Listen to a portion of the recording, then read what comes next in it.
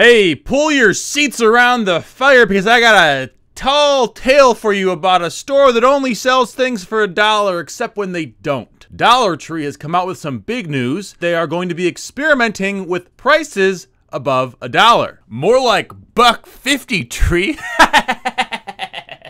no longer is it the Dollar Tree, it will be called the Dollar Tree Plus. This Dollar Tree Plus aspect of the stores will uh, be a store within the store, a part of the store that sells things for more than a dollar. Dollar Tree Plus? More like Dollar Tree Negative.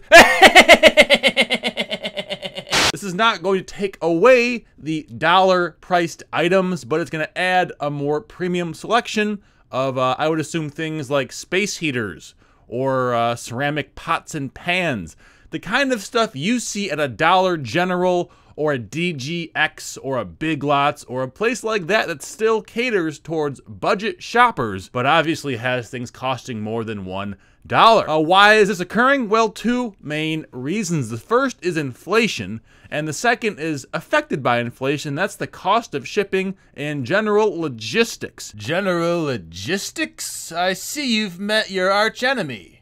Colonel Transport. With inflation hitting 4.2% in July 2021, the highest it's been in decades, the unfortunate truth is a dollar does not go as far as it used to. After releasing the news, the Chesapeake, Virginia company's shares jumped 13%, although that is little consolation to those shopping there on a fixed budget. If this news worries you, I encourage you please subscribe to my channel. I make tons of free content helping people just like you earning more money either on the side or as a full-time business. My name is Blake, and I'll see you later.